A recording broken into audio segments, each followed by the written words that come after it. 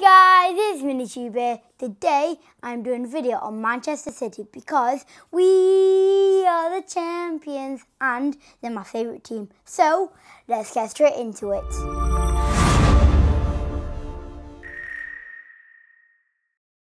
At the very start of the season, I said that Manchester City have a very strong chance of winning the Premier League. And what do you know?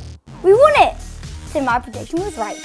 But Sadly, we didn't win the Champions League, so all my predictions were right.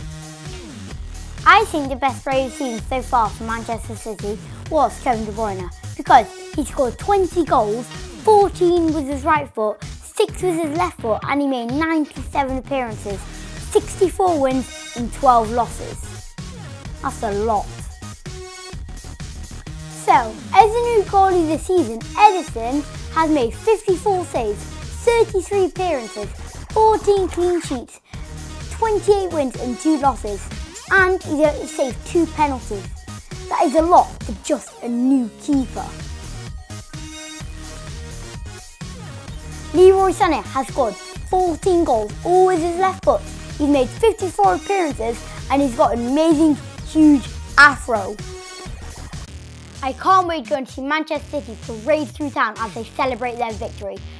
If you like this video, don't forget to hit that like button, smash that subscribe button. See you next time. Peace.